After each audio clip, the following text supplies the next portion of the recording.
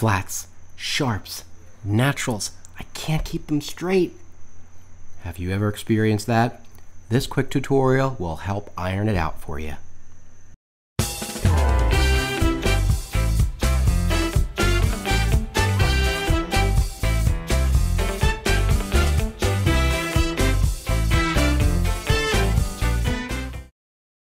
A sharp sign is a symbol that is placed in front of a note, which tells the player, that's you and me, to raise the pitch of a note a half step higher.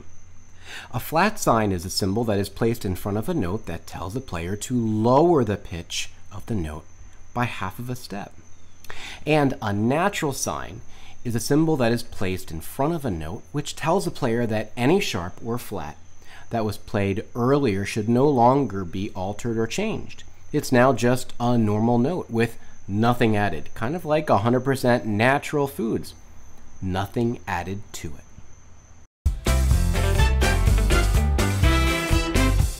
I've told my students in past years that one of the ways that they can remember uh, what a sharp sign is, is to imagine that sharp sign as a three dimensional figure that you're holding in your hand and now squeeze. What would happen? Ouch, it would hurt because it looks sharp. It's got those sharp points all around it. That might be a way to help you remember what a sharp sign is. Now, a flat sign, well, think of a flat tire. A flat sign helps lower the pitch, just like a flat tire would lower your car. Remember when I said earlier that those sharp, flat, and natural signs are small signs that make a big difference to our ears? Listen to the difference.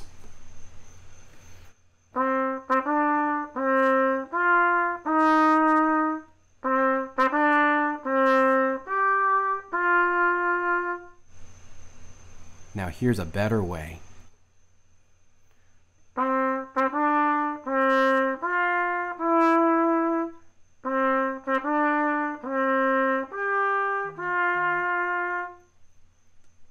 So the next time that you see a sharp, flat, or natural sign in your music, make sure you play the right note because otherwise it'll make a big, big difference and not in the best way. All right, that's today's lesson. Have a great day. We'll see you soon.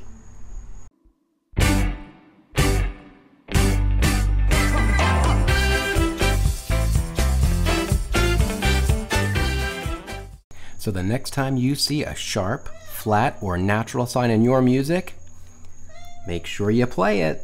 Okay, check your fingering charts out because they make a big difference. And so does my cat, apparently. Hello, Lily.